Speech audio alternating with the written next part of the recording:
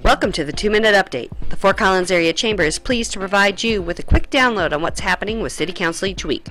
It was a busy night September 8th with the City Council meeting as the URA board and having a work session talking about Midtown Urban Renewal Plan, an update on the Climate Action Plan, a review of the Safe Routes to Everywhere Plan, and an update on the city's land bank program. The first item on the agenda was the council changing hats and meeting as the Urban Renewal Authority, or URA, board. The Colorado General Assembly passed a law this last session that will require changes in how URAs function starting in 2016, including how tax increment is spent and who determines those expenditures. Staff recommended and the URA board agreed to shrink the Midtown URA territory by 75% to focus on the current tax increment financing districts of the Foothills Mall and the South Prospect project only. That will keep the two current TIF allocations in place while allowing future districts to be established under the new legislation.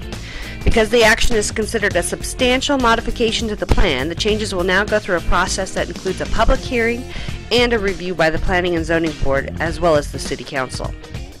The second item on the agenda was an update on the Climate Action Plan, or CAP. In March, the Council adopted some of the most aggressive greenhouse gas reduction goals in the nation. Council has been pushing for more detail on how the community will meet those goals. Staff is now developing a strategic plan designed to help the community meet the 2020 goal of 20% reduction. Six project teams and four support teams have been established and they have each prepared a draft work plan. Next steps include forming a community advisory committee, creating a website to become Communication Central on all things CAP, passage of mid budget cycle funding for new projects, and finalization of the 2020 strategic plan by quarter two of 2016.